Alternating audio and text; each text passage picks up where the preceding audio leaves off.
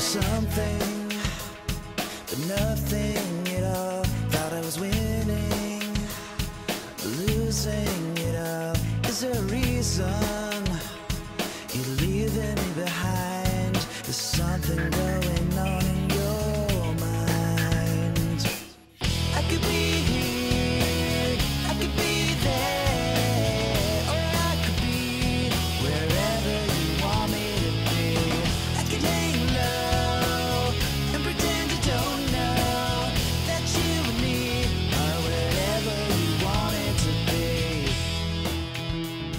I have six children, and they all love to read. I, I've learned that it doesn't matter what, what your education is, you can always help your children to always have a better education. And the library is a great beginning for that.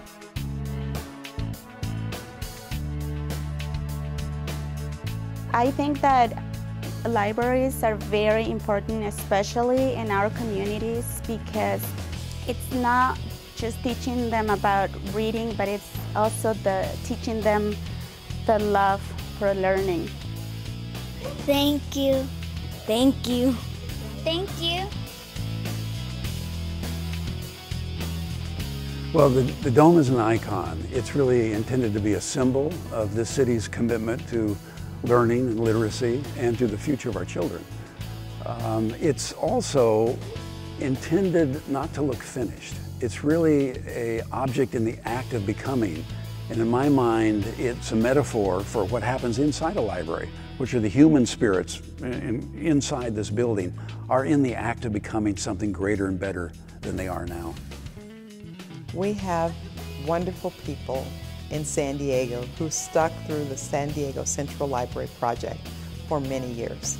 And I can't tell you how overwhelmingly wonderful it is to see those individuals and to be able occasionally to say thank you. But this is a time I would really love to express my personal deep felt thanks to many people who helped make this project happen. Our library staff and our community thanks them as well. Thank you. Thank you. Thanks a whole bunch. Mahatma Gandhi said, Be the change you want to see in the world.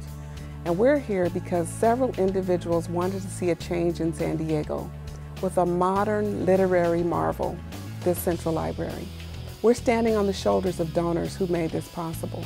Without you, our students would not be able to be engaged, educated, and empowered to be the next leaders of San Diego and perhaps our world.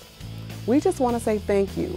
We stand on your shoulders and do the work, and we take this work seriously because you committed your life to making this project possible. On behalf of E3 Civic High and every student who will come after us, we want to say thank you for your legacy. We will make you proud.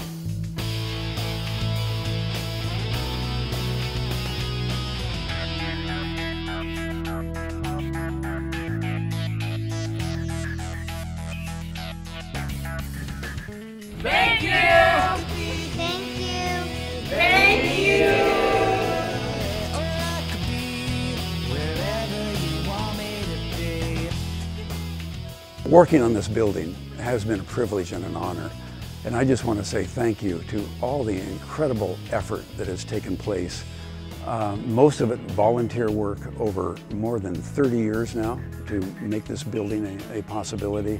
And I want to thank the donors who really came forward at critical times. Uh, I don't know of any other library in the United States that has been built uh, with a grassroots public effort like this. Usually there's a bond passed and everybody sits back. This was really a, uh, a wonderful uh, statement to the kind of positive activism that exists here in San Diego. I could be here. Thank you.